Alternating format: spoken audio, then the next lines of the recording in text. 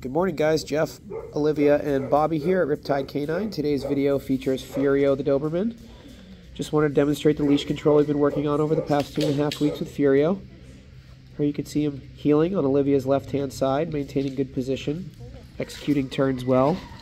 We have Moose here as a distraction dog for Furio on place. Some really nice heeling. We don't allow pulling or lunging. We don't allow sniffing.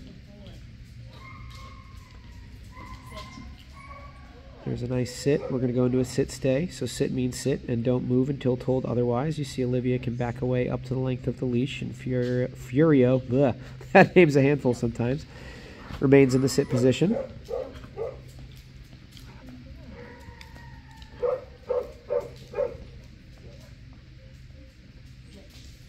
Nice job. Now we're going to go into a downstay here. there we go. Down means down and don't move. We give a hand signal of a flat palm towards the ground.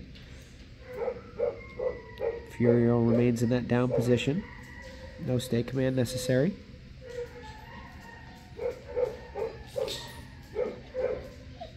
Now we will demonstrate the place command. So place means get on the bed and don't come off of the bed until released. Furio is allowed to sit down or stand.